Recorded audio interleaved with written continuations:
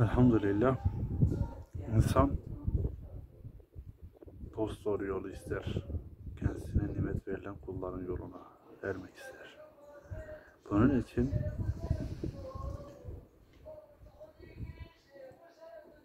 onların üzerine nimetin yağdığı karakteri, hali, doğruluğu, olgunluğu istemelidir.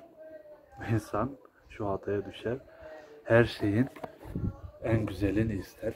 Ama en güzele ulaşanların e, takip ettiği yolu, ahlakı, bilgeliği istemez. Önce onu istemelisin ki o zaten onu Rabbin lütfuyla doğurur, getirir. Eğer bir sonuca talipsen süreci izlemelisin değil mi? Sürece talip olmalısın. O sürecin içinde kolaylıklar tabii ki de vardır. Rabbin bin bir türlü e, yolu, yöntemi vardır. Ama süreci istemeden sonuca talip olmak bilmeyenlerin, almayanları kaybedenlerin düştüğü tuzaktır. Allah'ın rahmeti, bereketi, mağfireti, doğruyu, ilke edinen doğruyu seven ve onun gereğini tutmak yakındır.